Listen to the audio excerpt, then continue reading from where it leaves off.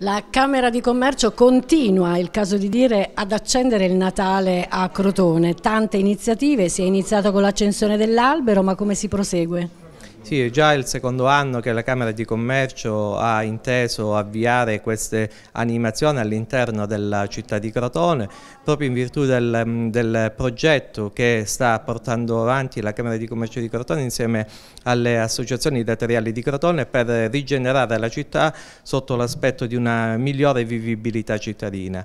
Quindi con eh, il principio di sussidiarietà e di collaborazione la Camera di Commercio anche quest'anno viene incontro agli enti locali, alle associazioni, alle imprese crotonesi, eh, dando in omaggio tutta una serie di attività che vanno dall'albero di Natale illuminato in centro città e altre iniziative che abbiamo messo nel nostro calendario. Fra queste ci sono due videomapping che abbiamo portato avanti in collaborazione con l'agenzia Contatto di Crotone, abbiamo il, da, il, ballo che faremo il 20 di dicembre di danza al Teatro Apollo con ehm, ehm, la scuola di danza Taglioli e abbiamo il gospel del 23 di dicembre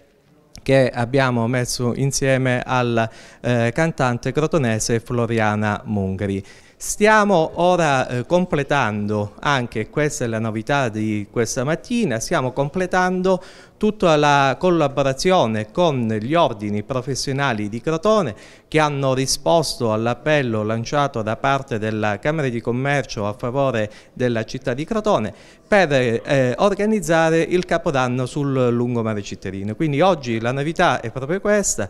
dobbiamo cercare tutti quanti insieme e oggi lo stiamo dimostrando perché abbiamo visto che nel corso di queste appunto, attività natalizie non soltanto la Camera di Commercio ma anche dei privati cittadini, degli operatori economici singoli, ognuno ha, il, ha fatto la sua parte e ha dato un segnale alla città per dare questo segnale di positività rispetto a quello che deve essere svolto all'interno della città. Diciamo che oggi forse questa emergenza con cui ci siamo trovati tutti ha fatto riscattare quello spirito di cooperazione e solidarietà che è necessario affinché determinate cose vanno in un percorso ben definito che è diverso da quello appunto della solita lamentela ma di costruzione di un percorso futuro.